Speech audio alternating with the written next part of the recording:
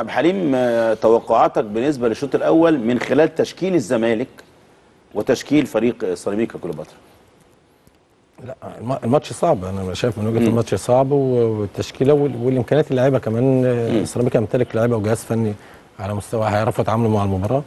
و- ولاعيبه الزمالك عندها الهدف وعايزين ثلاثة بونت في البداية هتكون صعبة. أتمناها أتمناها في البداية بالتشكيل ده إنك توفق في البداية تجيب صح. هدف أو اثنين فت- فتنهي المباراة بدري بدري.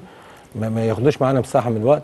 إنما من وجهة نظر المباراة في البداية هتكون صعبة شوية لغاية ما نشوف الدنيا هتمشي إزاي الراجل بيلعب إزاي. فنتمنى التوفيق لنادي الزمالك في البداية بالتشكيل ده.